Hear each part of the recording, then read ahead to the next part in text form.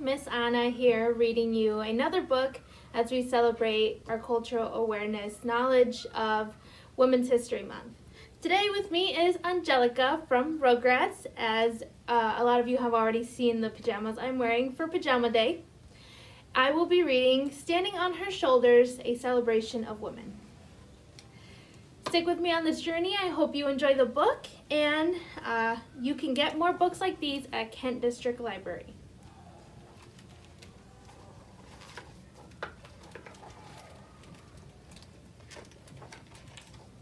Standing on Her Shoulders, A Celebration of Women by Monica Clark Robinson, art by Laura Freeman. Come, sit with us, child. We have stories to tell. Listen closely. You come from a deep, deep well. Our mothers and all those who've gone before paved a freer path and opened a wider door. There's surely still plenty of work to do, but there's much to learn from what they went through. For we are standing on the shoulders of the strong, smart, sage, and soulful ones who have gone before us. Think of the one who mothers you. She's with you even when you are apart. You are forever a piece of her heart speak her name. And the ones who came before her, generations strong, their words sing of grit and love, your family song. You are standing on their shoulders.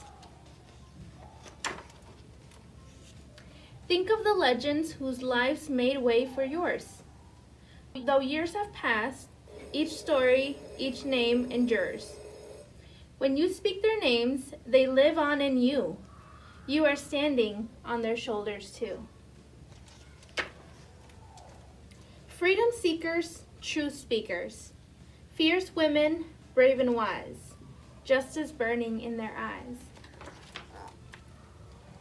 Warriors in the fight, marching for their right. Believing in a day when women will have a say. Champions of equality, challengers of authority, peace, freedom fighters, brave and bold bus riders. Magic believers, dream weavers, revolutionary minds, their works echoing through time. Leaders of a new team, dreamers of a new dream. Women fighting for their right, athletes of grace and might, speak their names. Keen and curious explorers, refusing to take orders. Women who dared to defy, showing girls another way to fly. We are standing on their shoulders. When we remember them and speak their names, we respect the struggles they overcame. We are grateful for the freedoms they've given. We stand on the shoulders of powerful women women who were little once, just like you. When we speak, whisper, sing, and shout their names, we honor their lives and the rights we gained. We are all standing on their shoulders. Who will stand on yours? Toward the end of this, bu this book, Different women are highlighted, like Serena Williams, Simone Biles, Frida Kahlo, Chloe Kim, Deb Haaland, Shirley Chisholm,